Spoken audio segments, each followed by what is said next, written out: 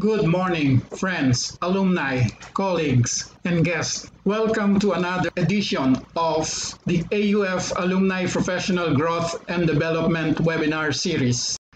In the Gospel of Mark, chapter 9, the apostles were arguing about who would be the greatest.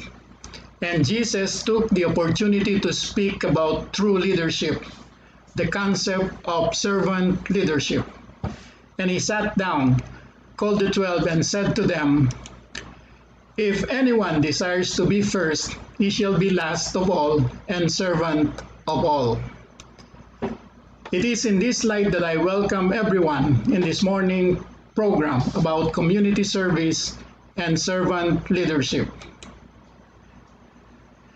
As a keen Facebook follower of our resource speaker and listening to her on several forums, I can honestly say that she is a perfect epitome of community service and a quintessential servant leader.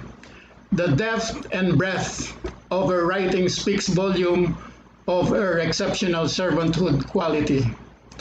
The finer point is she walks her talks.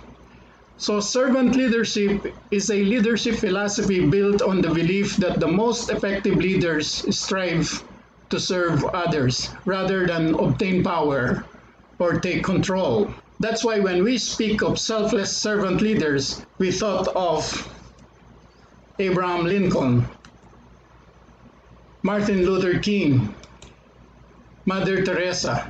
And kidding aside, our speaker is not far behind.